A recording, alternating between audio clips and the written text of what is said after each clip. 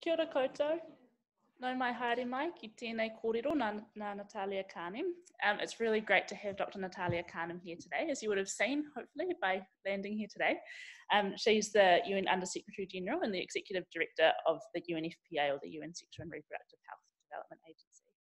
Um, and she's going to speak to us today without slides, which is a novelty for this. Um, and it's going to be really great to hear your perspectives on this, especially 50 years since the founding of um, UNFPA. And welcome to the floor. Thank you.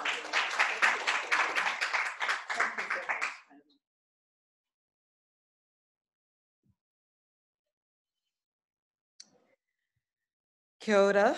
Thank you very much, Maddie, and good afternoon, everyone. I greet you in peace. Peace is the founding purpose of the United Nations. It is also part of our fervent wish at UNFPA, the United Nations Sexual and Reproductive Health Agency, for every woman, girl, person in the more than 150 countries where we serve around the world. This is my first visit to New Zealand. In the UN, we call these missions, and I've had a dual mission this time. One was to speak with the government of New Zealand and to bring a message of thanks for upholding human rights, gender equality, and also helping UNFPA and other parts of the United Nations to succeed in our mandate, which I'll say more about. And the second part of my mission, and that's why I'm so delighted to be here at Otago University, was to engage with civil society, with the people of this beautiful country. And I'm very delighted to be here on the 50th anniversary of UNFPA and on your 150th here in this illustrious place of learning indeed. And it's a particular pleasure for me as a pediatrician and former professor and researcher to be among you in an academic setting to speak about some of the urgent needs that I see in public health practice. And I'm really delighted to be here with my UNFPA international team. And that includes none other than Zaida Shamim, who herself is a graduate of Otago, and she's one of the leaders of our uh, Pacific programming here in the region. It was nearly 75 years ago, next year, the United Nations will celebrate its 75th anniversary. And our charter, the United Nations Charter, which we all share, established three founding pillars for the UN. And the system addresses peace and security, human rights, and development. In this era, sustainable development. So meaningful as we're here in a region where the heart of our mandate and our work is demonstrating effectiveness and results. These results are predicated on addressing issues around, in particular, women and girls' rights and choices. In particular, young people's rights and choices. And we say across the whole spectrum of inclusivity. It was wonderful walking into the lobby, seeing the flags flying, attesting to all types of inclusiveness, including sexual diversities and certainly for disability inclusion. And we at UNFP are very conscious of the fact that this is something that we should do every day, including during times of conflict and of natural disaster. So uh, we would like to congratulate and thank New Zealand for supporting the human rights of women and girls, people with disabilities, LGBTIQ, and the whole spectrum of sexual diversities under the Human Rights Action Plan, which you have under development, and also for the, the, the specific focus on the Pacific, which should not be a neglected area. And the Sustainable Development Goals say leave no one behind. So we've got to put teeth behind that and get serious about that as we think about change. Um, it's interesting to me, hailing from Panama as I do, which has a similar population of about 4 million, seafaring country, that New Zealand has emerged as one of the top 10 donors to the sexual and reproductive health and rights agenda, together with data good data, population data that UNFPA espouses. So we thank you for that. And I hope that we'll have an opportunity to talk about partnership in many, many divergent ways that are predicated on community leadership, women's leadership, country leadership. There's a lot of strength in this agenda, but let me say at the outset, there's also a lot of controversy and a need for dialogue. And this is what distinguishes the multilateral system in this day and age. You know, choice is about knowledge, right? If you're ignorant of how your body functions, how can we really expect you to make a good decision that may affect the rest of your life and career? It's about bodily integrity, having the power, the ability, the means to say yes, hopefully to conscious, pleasurable decision, consensual uh, sex and sexuality, but certainly having the power to say no. And it's also about having the power and the means to make your own decisions about whether, when, with whom, if you plan to have children, how often. These are choices across the life cycle that have a knock on effect on other choices or the absence thereof. And uh, as a health system, part of our duty, part of our anxiety is to make sure that if you are undergoing pregnancy and childbirth, that you survive, that in fact you thrive, that you're welcomed, um, and that the atmosphere is one in which you receive quality care once you reach a health facility. And this really is about the cycle of life, life or death. So that's been the focus of our work in the past 50 years of UNFPA, but especially since 25 years ago, which at the midpoint in 1994, something revolutionary happened in Cairo. Uh, some of my team, myself, we were younger professionals who actually attended a meeting where under discussion by all 179 governments was population and development and where the paradigm changed from population as numbers or targets to being about people. And the people that we're talking about are the women and girls who should be at the center of development.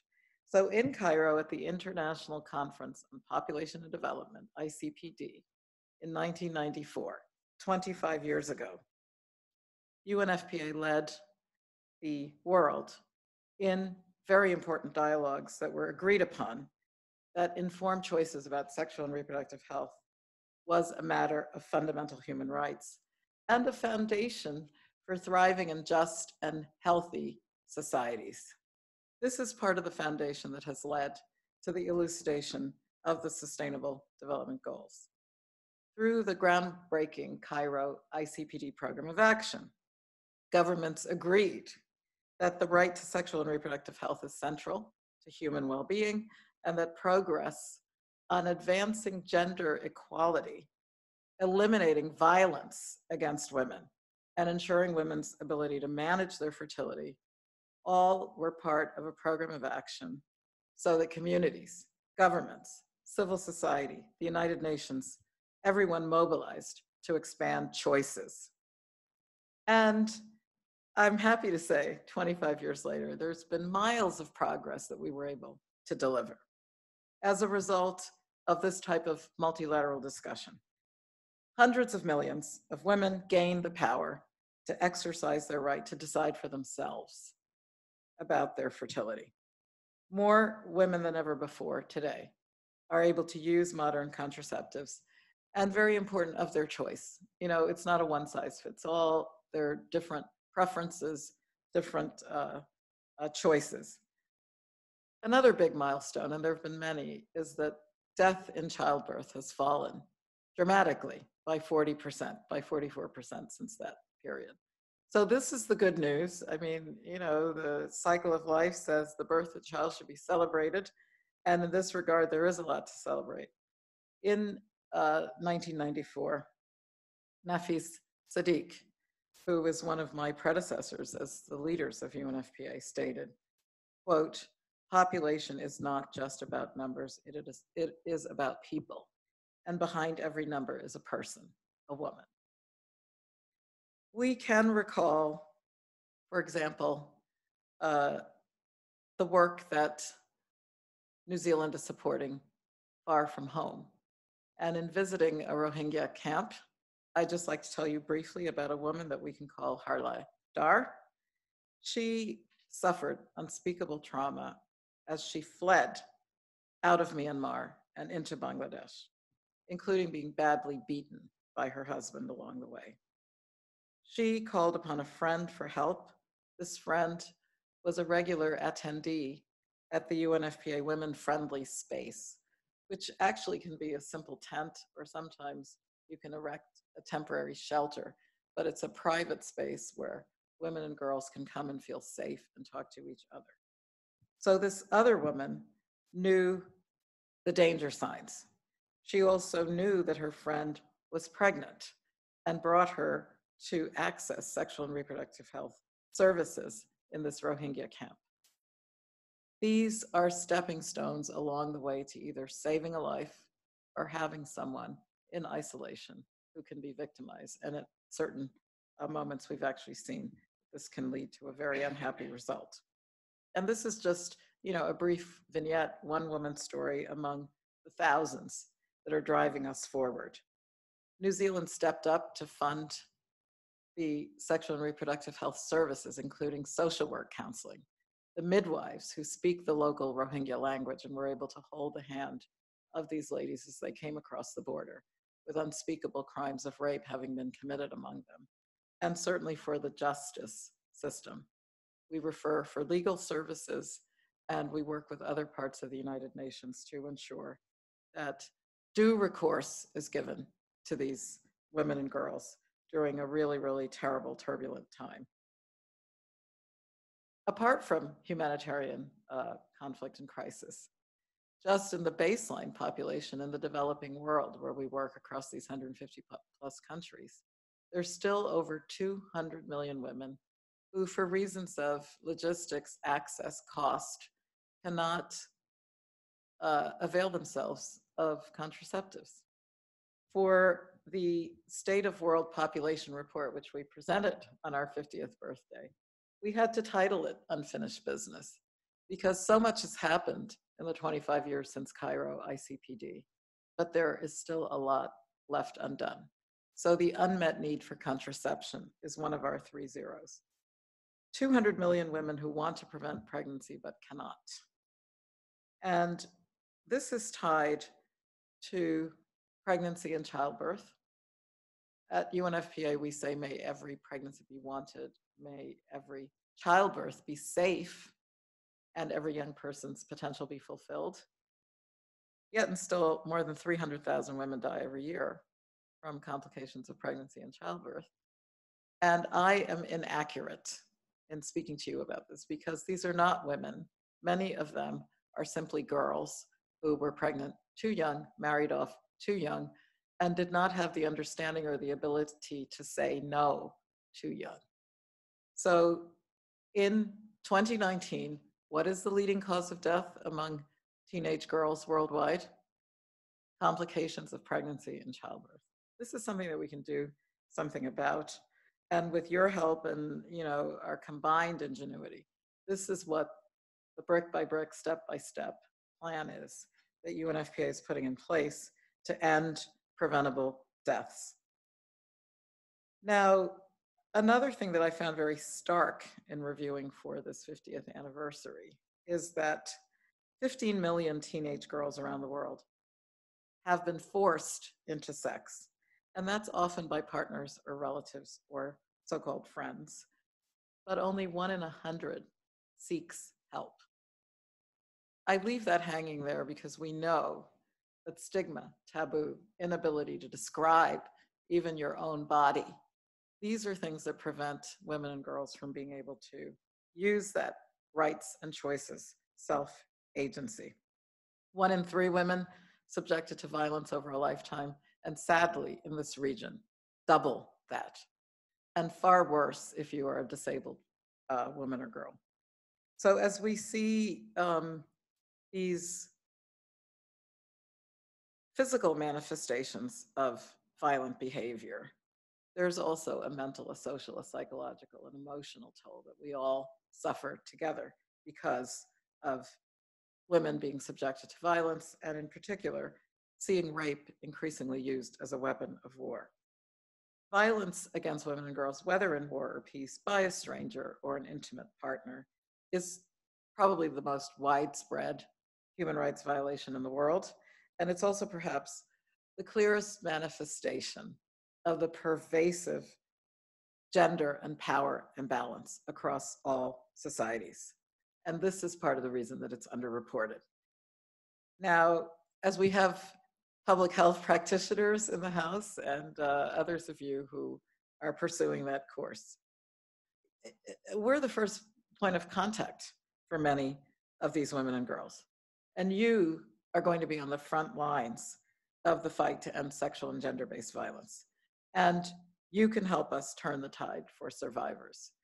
Very important to know that men and boys are part of the solution. And we actually welcome those of you who are working in faith based communities to again shed light, you know, draw open the curtain, as they say, on some of these issues that it's going to take a lot of dialogue to shift the mindset decisively. UNFPA works to end child marriage, and this is something that we discussed with parliamentarians here in New Zealand this morning. Globally, one out of every five girls marries or is in a union by the age of 18. In the least developed countries, that number doubles. So here you have 40% of girls being married before the age of 18 and everything that goes along with that. And some girls are married at 10, 11, 12, you know, 15 years old. 33,000 every single day. We also uh, phrase this as a form of gender based violence. You're a girl, you should be in school, you should not be walking down the aisle, and you certainly should not be oppressed into a marriage, not of your full consent and choosing. Similarly, over 200 million women and girls alive today have been subjected to female genital mutilation.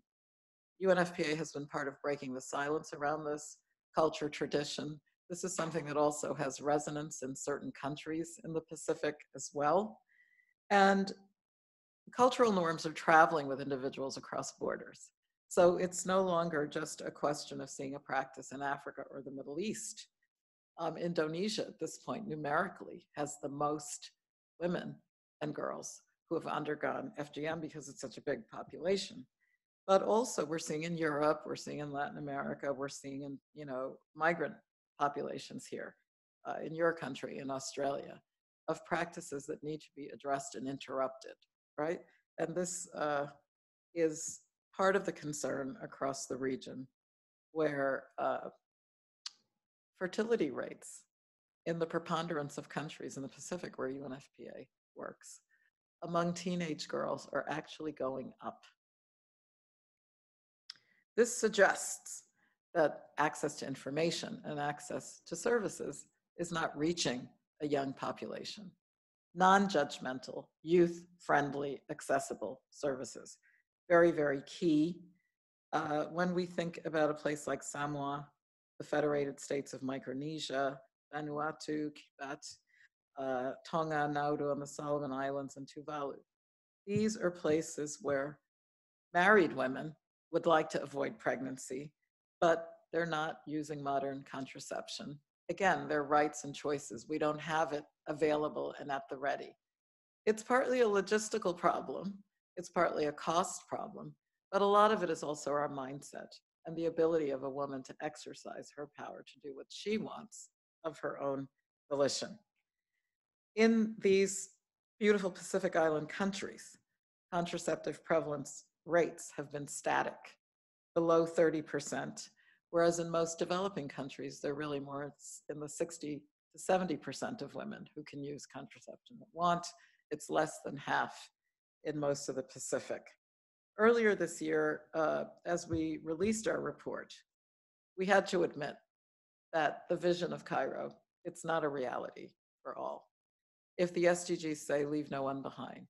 Part of the Sustainable Development Goals is to redouble efforts to make sure that we finish the unfinished business by 2030 which is the deadline that uh, countries now have set for achieving sustainable development.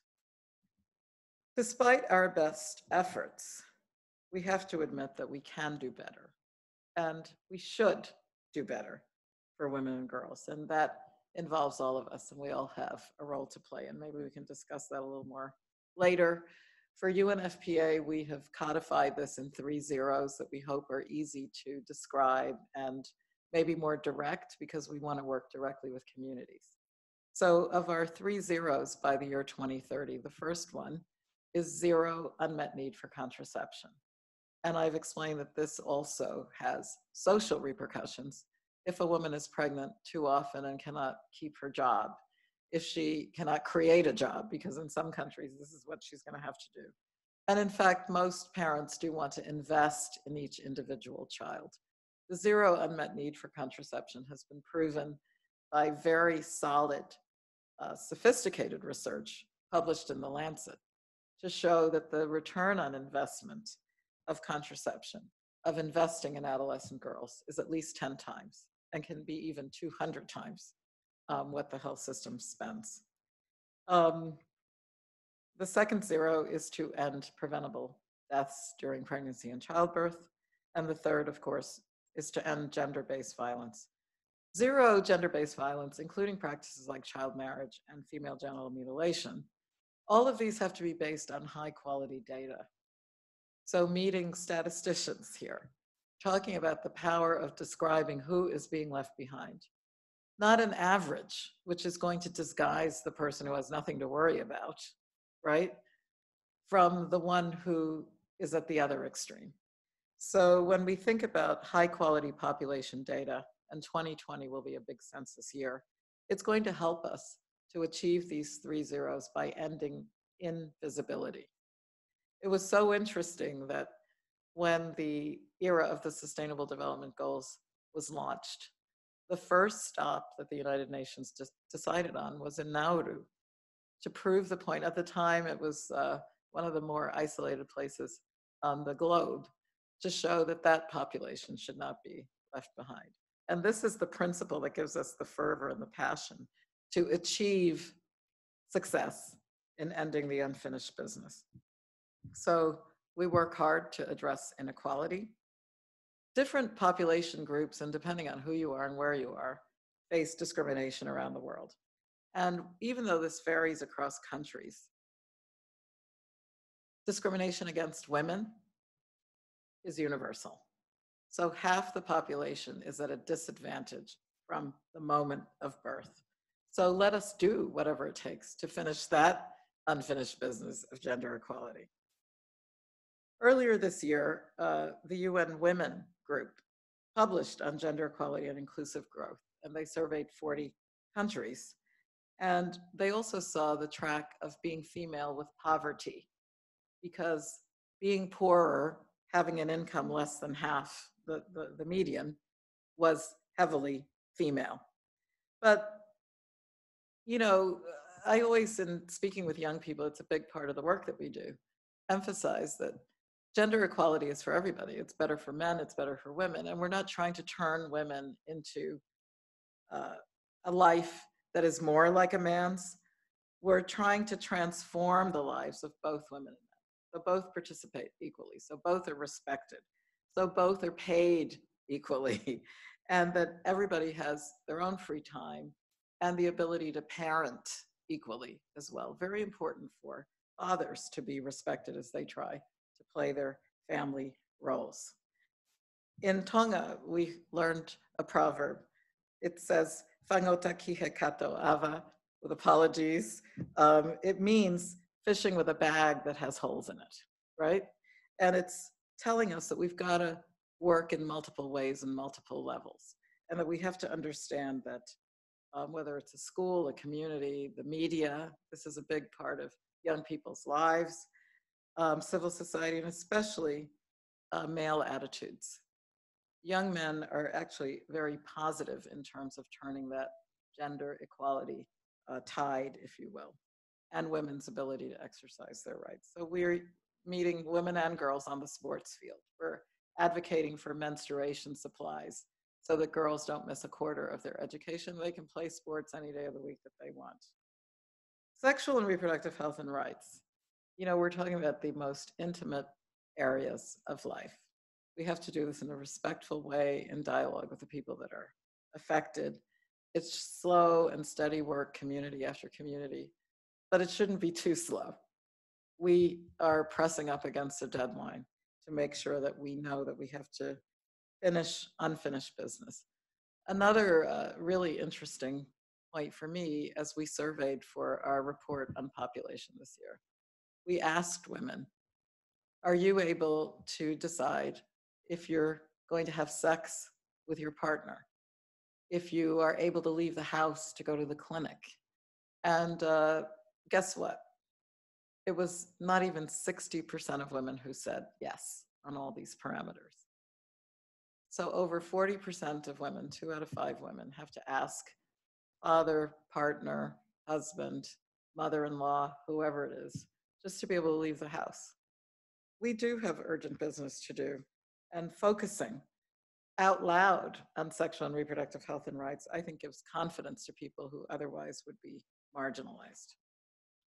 When we talk about the unique role of the analysis and use of data, this is a passion that we all have. I've gotten to know demographers and statisticians in a lot of countries who are turning data into action. It's a great way to describe what is going on. And we, uh, for New Zealand, developed a complete web page of results. What are the facts of what we are using, the contributions of this country, to transform lives when it comes to contraceptive access? when it comes to repairs for things like fistula, which is a damage to the uh, birth canal during pregnancy. All of these are ways of making sure that people are visible who otherwise would be invisible.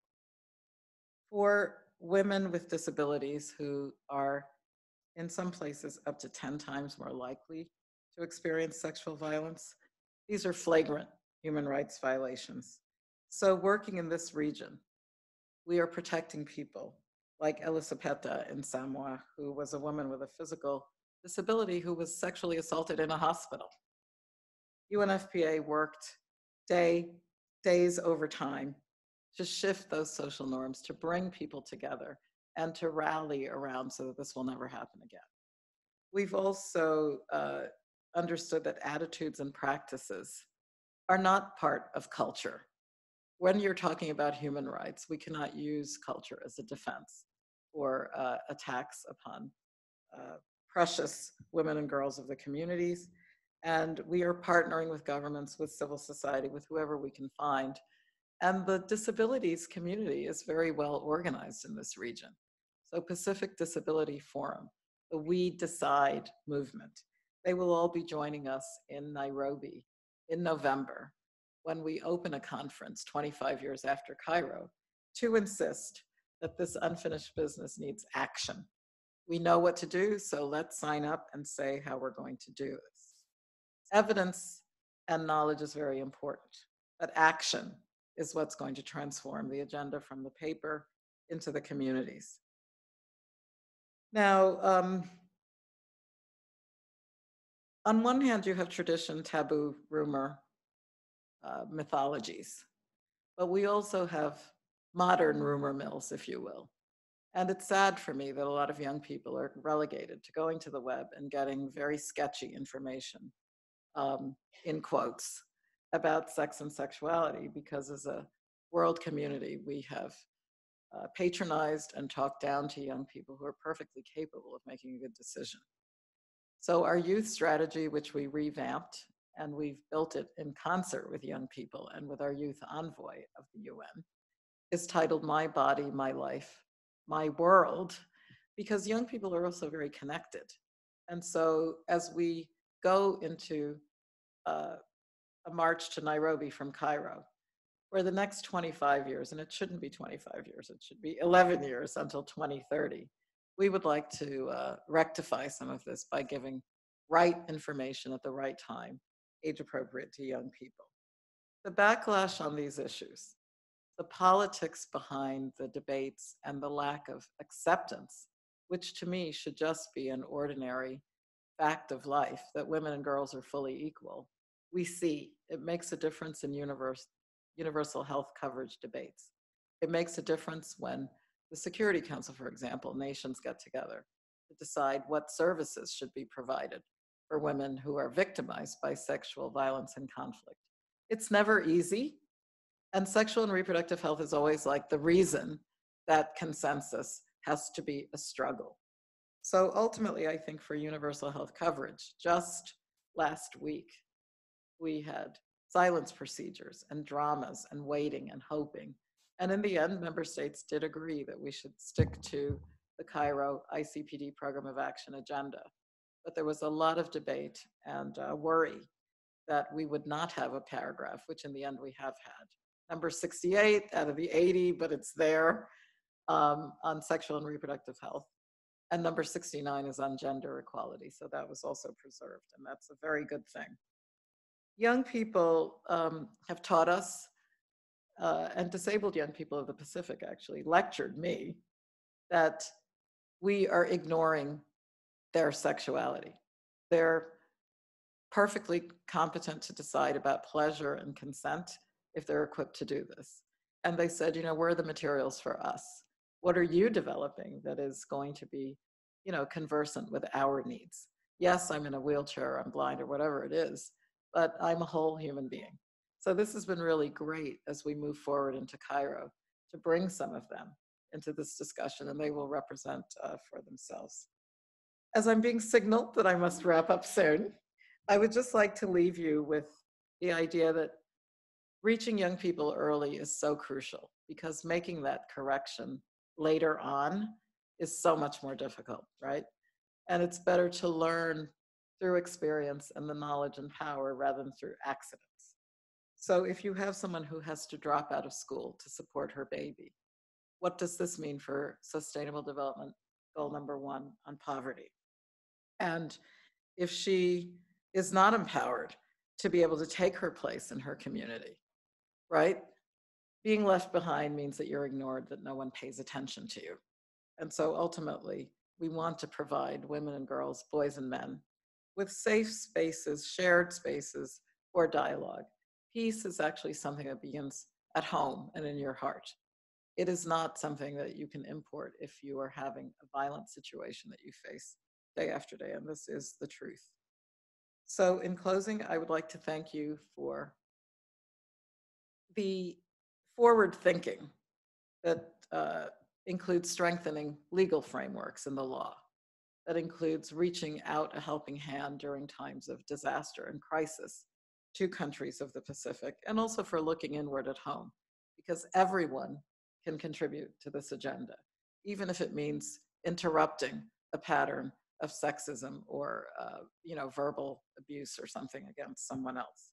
At all levels 25 years on it is our hope that governments that ngos development institutions everyone who has come together to craft this kind of understanding will be with us if not in person symbolically on november 12th in nairobi when the president of kenya and uh, uh, Denmark, which is co-sponsoring the Nairobi summit with UNFPA. President Kenyatta will open the summit with his commitment, which is against FGM in his country.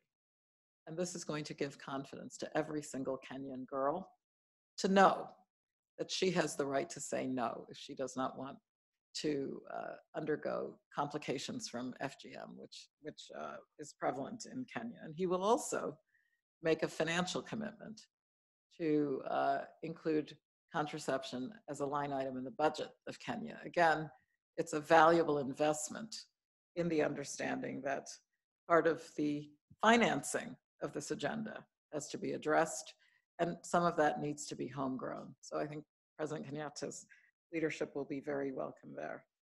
And we need you.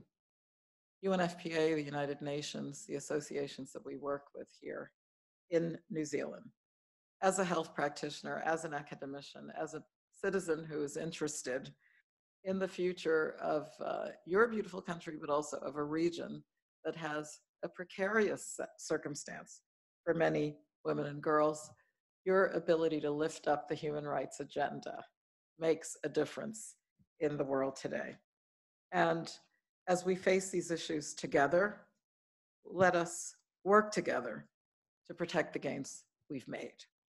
Let us keep the handmaid's tale in the fiction aisle because women are not going back.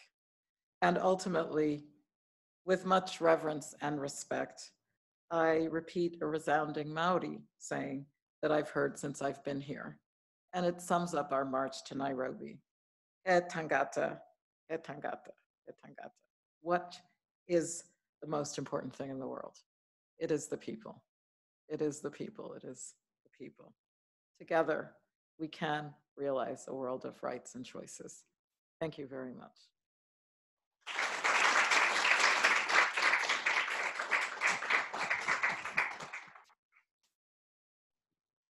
we'll now take questions. So we'll run around with some microphones and please do ask.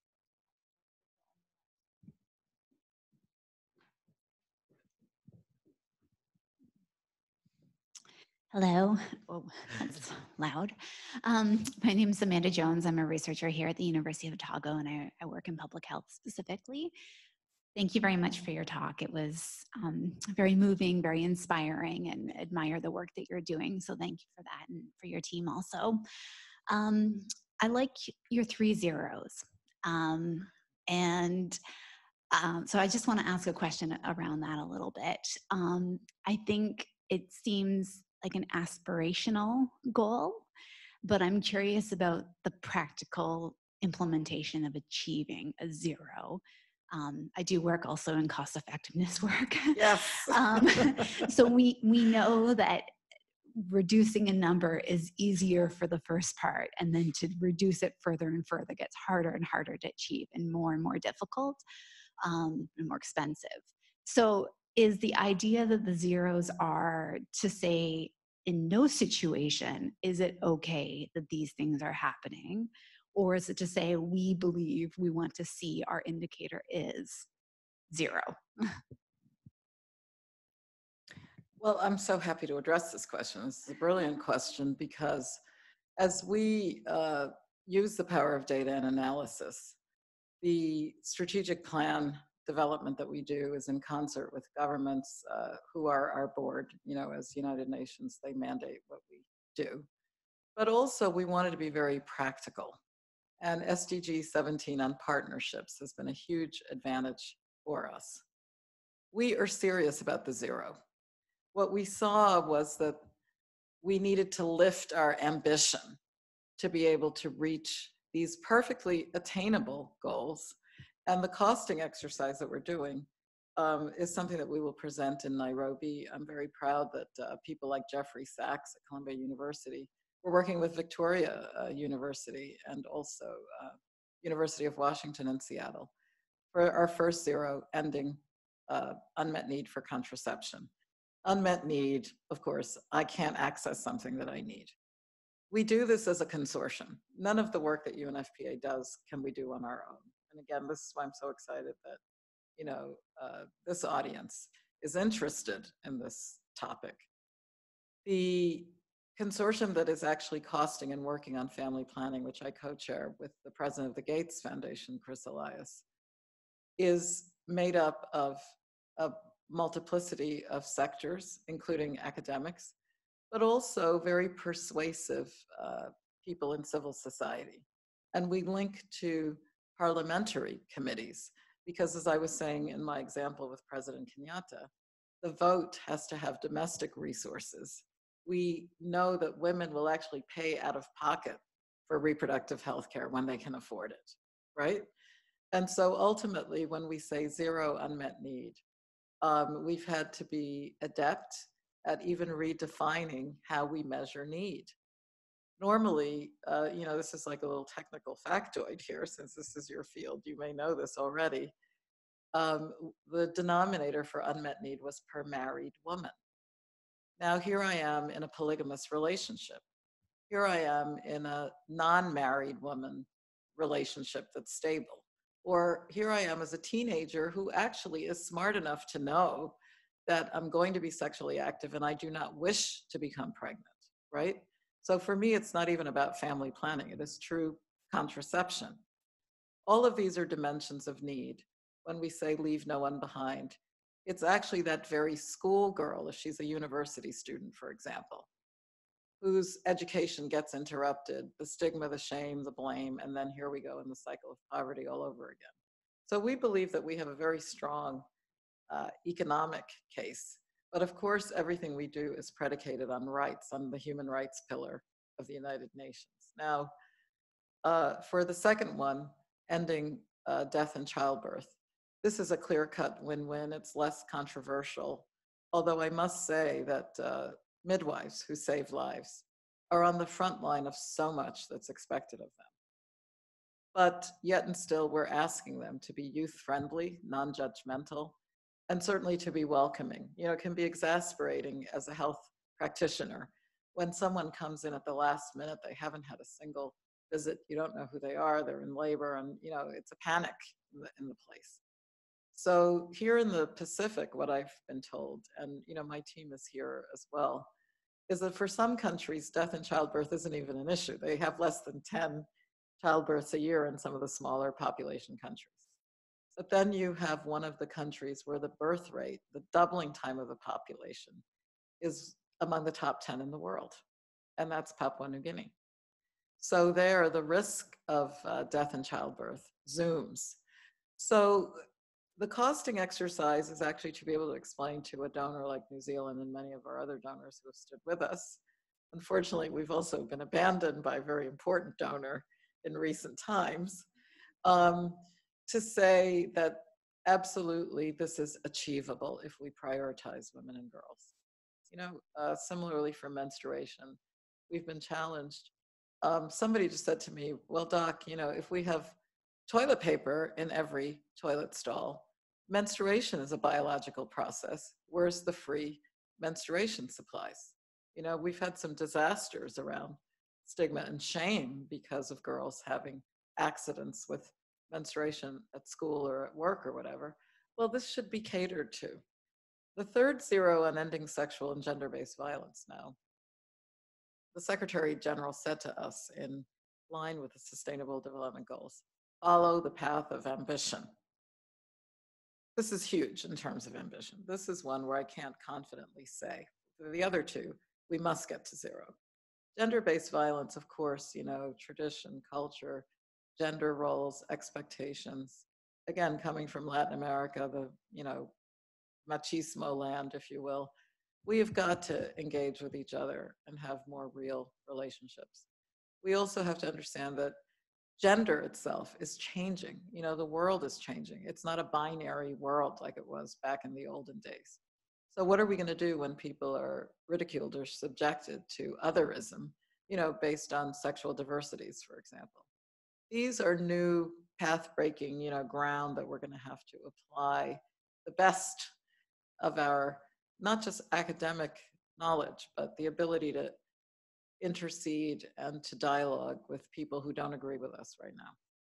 So it's taken a lot of humility for unfpa to you know be that bridge and try to work across faiths across um, you know i was in niger with the traditional chiefs of that country their regalia. They're magnificent. And they have come onto the record as promoting family planning and an end to child marriage. You know, and this is conservative uh, uh, part of West Africa. So there's a lot to ponder with this. It's not automatic, and partnership, I think, is really at the heart of the success.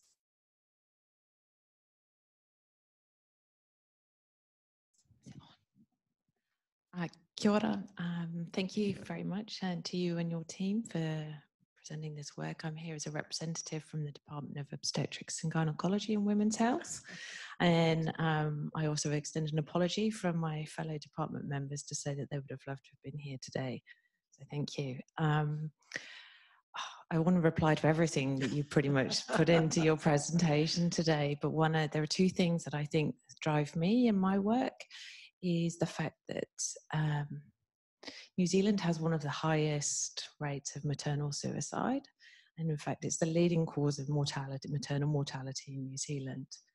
Um, there is work that's happening in that space. And then also when we come to start talking about reproductive aut- um, autonomy, tubal ligation is funded in New Zealand, but vasectomy is not, except in very rare cases. So I, you know, we still, I wish that we could do one of these for New Zealand around women's rights and autonomy. Um, anyway, but thank you. Well, thank you so much for um, that elucidative comment. I think, again, gender inequality has to be looked at in its totality. And uh, it is an extremely distressing statistic about maternal suicide. I believe that uh, postpartum depression is so underdiagnosed, and it's hard for, again, uh, people to speak about this because of the stigma that's attached to not bonding, you know, immediately with uh, with with the newborn. Ultimately, um, you know, I'm looking for ways of learning how you're doing it here in the sense of uh, taboo and culture. I think it's an exciting time to try to rupture some of these um, negative consequences from the silence that surrounds some of these practices. And mental health, you know, writ large is one of those issues. But I certainly think that uh, providing uh, care to people postpartum is, is one of the aspirations that we share. Thank you.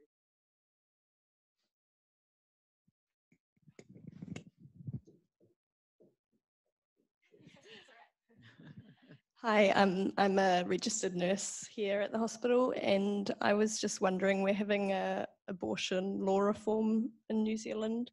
If you have any ideas or tips on how we could make it so that we have a good, you know, abortion law that makes it safe and easy to access for everybody.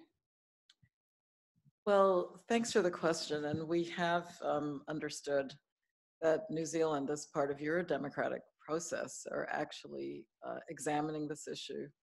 And um, as United Nations, we don't comment on internal legislation specific to any country. So um, I will just say generically, not about New Zealand, but in general, that um, abortion is one of the most polarizing and divisive issues, which again, we hope that evidence and an understanding of the consequences of unsafe abortion would be understood because it is a big contributor to that second zero of ending uh, preventable maternal death.